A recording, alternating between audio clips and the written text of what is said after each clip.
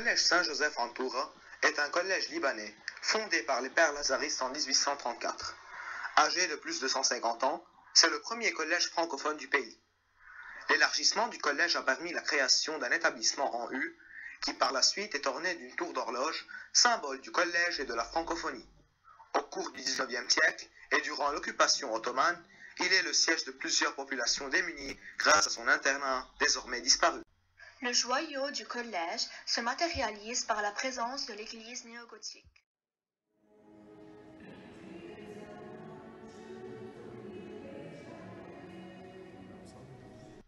Dans cette église se trouvent trois vitraux dédiés à Saint Vincent, fondateur des Lazarites, l'Immaculée Conception et Saint Joseph, patron du collège et de la congrégation.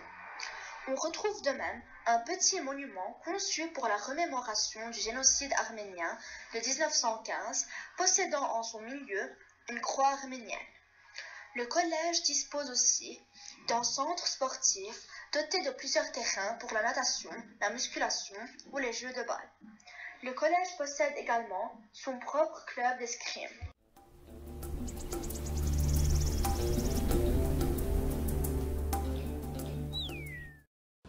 Quelles caractéristiques mettent en relief, selon vous, ce collège?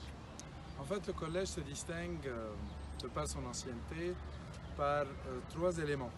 Le premier, c'est qu'une ambiance de famille règne au collège. Presque depuis le 19e siècle, on retrouve euh, les mêmes familles là. Donc on est de père en fils à Antoura. Deux, le collège travaille énormément sur la construction du caractère de ses élèves. Non seulement l'éducation, mais seulement le caractère.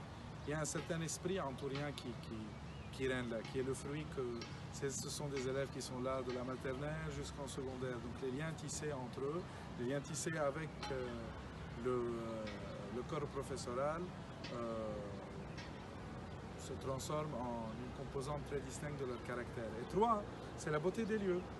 C'est un lieu architecturellement beau. Cette année, le Collège Saint-Joseph en Toura est l'un des établissements où se dérouleront les Jeux internationaux de la jeunesse JIJ 2019 au Liban en juin.